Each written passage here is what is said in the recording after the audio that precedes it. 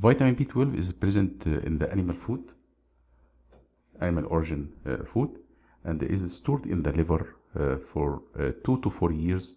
So the deficiency take at least two years to develop because of large amount of the B12 stored in the liver. Uh, folic acid is present in green vegetable.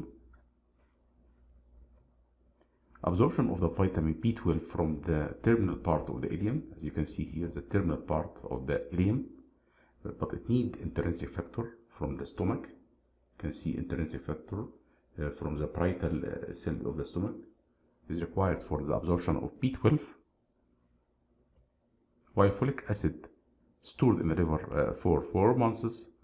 The absorption site is the first part of small intestine, duodenum and jejunum, and it need to be uh, activated or transformed into tetrahydrofolic acid. You can see tetrahydrofolic acid.